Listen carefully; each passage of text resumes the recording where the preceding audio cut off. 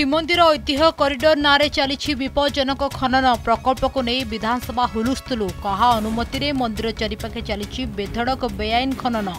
ବିରୋଧୀ କହିଲେ ଜଗନ୍ନାଥ କ୍ଷମା ଦେବେନି ବିବୃତ୍ତି ରଖିଲେ ରାଜ୍ୟ ସରକାର ଦୁଇ ହଜାର ଏକୋଇଶ ବାଇଶ ବର୍ଷ ପାଇଁ ଆସିଲା ଓଡ଼ିଶା ଅର୍ଥନୈତିକ ସର୍ଭେ ରିପୋର୍ଟ ରାଜ୍ୟର ଅଭିବୃଦ୍ଧି ହାର ଦଶ ଦଶମିକ ଏକ ପ୍ରତିଶତ ରହିବା ଆକଳନ ଜାତୀୟ ସ୍ତରଠାରୁ ଅଭିବୃଦ୍ଧି ହାର ଅଧିକ ଥିବା ରିପୋର୍ଟରେ ଉଲ୍ଲେଖ ବାର୍ଷିକ ମୁଣ୍ଡପିଛା ଆୟ ଏକ ଲକ୍ଷ ସତେଇଶ ହଜାର ତିନିଶହ ତେୟାଅଶୀକୁ ବୃଦ୍ଧି ପାର୍ଲାମେଣ୍ଟରେ ମୁଖ୍ୟମନ୍ତ୍ରୀ ନବୀନ ପଟ୍ଟନାୟକ କେନ୍ଦ୍ରମନ୍ତ୍ରୀ ଓ ସାଂସଦଙ୍କ ସହିତ ସାକ୍ଷାତ ପରେ ବିଜେଡି ସଂସଦୀୟ ଦଳ ବୈଠକରେ ଓଡ଼ିଶାର ବିଭିନ୍ନ ପ୍ରସଙ୍ଗ ନେଇ ଆଲୋଚନା ରାଷ୍ଟ୍ରପତି ନିର୍ବାଚନ ଉପରେ ମାପିଚୁପି ରଖିଲେ ପ୍ରତିକ୍ରିୟା जेड कि चिन्ता गरिन कहिले नवीन बदलब जुक्त दुई परीक्षा सूची प्रस्तुति मझिर नै समय को निर्देश विभाग सूचना दले गणशिक्षा मन्त्री समीरञ्जन दास सबै पै अभिभावक संघ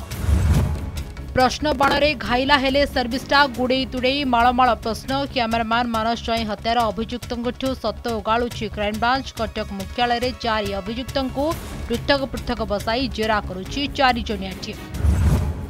ଜଳୁଛି ଜଙ୍ଗଲ ନିଆଁର ଆଁ ଭିତରେ ଜଳିପୋଡ଼ି ଗଲେଣି ବହୁ ଜୀବଜନ୍ତୁ କୀଟପତଙ୍ଗ ଔଷଧୀୟ ବୃକ୍ଷଲତା ଅଧିକାଂଶ ସ୍ଥାନରେ ନିଆଁକୁ ଆୟତ୍ତ କରିବାକୁ ଉଦ୍ୟମ କରିବି ବନ ବିଭାଗ ବିଫଳ